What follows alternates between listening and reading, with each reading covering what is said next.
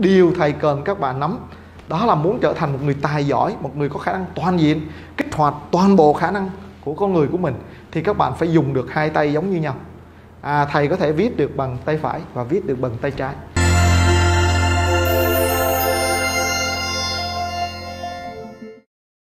Xin chào các bạn đã đến với bài số 1 trong chương trình kích hoạt thiên tài sáng tạo của chúng ta nhé. Trong cái bài này các bạn cần phải nhớ cho thầy những kiến thức quan trọng sau. Kiến thức số 1 đó là bộ não chúng ta nó có hai bán cầu. À bên này nó có một miếng, bên này nó có một miếng. À, Người ta gọi là bán cầu não phải tức là nằm phía bên phải Và bán cầu não trái tức là nó nằm bên trái đơn giản vậy thôi. Hai cái bán cầu này nó hợp lại là thành một bộ não của con người. Nhớ nha chúng ta có hai bán cầu não nha. Tiếp theo kiến thức số 2 mà bạn cần nhớ đó là trọng lượng của một bộ não của một người trưởng thành. Nó có trung bình khoảng 1.35 kg tức là 1 kg 350 gần 1 kg 4 khoảng đó nhé. Nhớ trọng lượng của bộ não con người. Và kiến thức số 3 mà các bạn cần phải biết là bộ não con người chúng ta điều khiển chéo. Điều khiển chéo nghĩa là sao? Cái bán cầu não bên phải nó điều khiển những cái gì thuộc về nửa cái thân bên trái. Ví dụ như con mắt của thầy ở bên trái là do cái bán cầu bên phải điều khiển.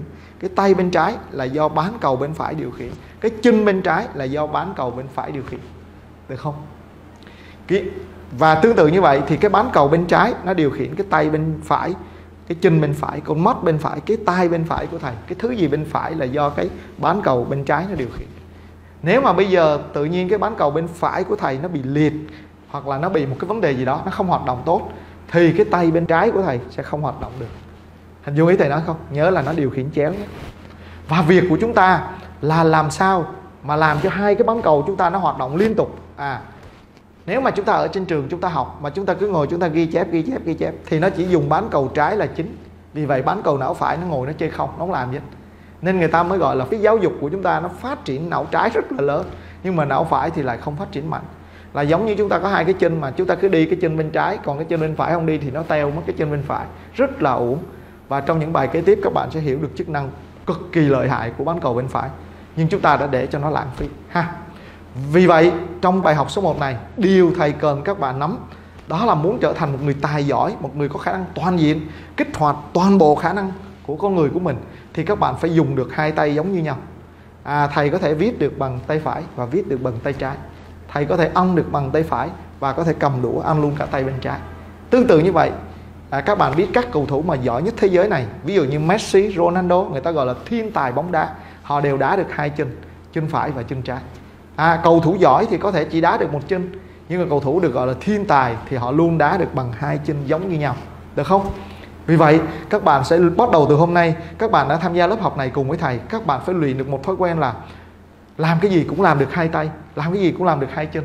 Ví dụ trước giờ bạn đang ăn cơm bạn cầm đũa bên tay phải bắt đầu từ hôm nay nếu bạn muốn phát huy cái tài năng bên trong con người siêu khổng lồ của bạn à, siêu phàm của bạn thì bạn nhất định phải chuyển đôi đũa qua bên tay trái và học cách ăn bằng tay trái thời gian đầu thầy nói cho bạn biết nó hơi vất vả vì nó làm sao biết không? Nó rớt cơm ra ngoài nó đổ canh ra ngoài.